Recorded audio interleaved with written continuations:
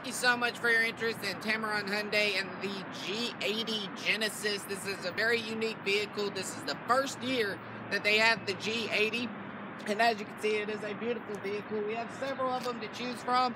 We also have a couple more in the back, so just depends on which features you're looking for.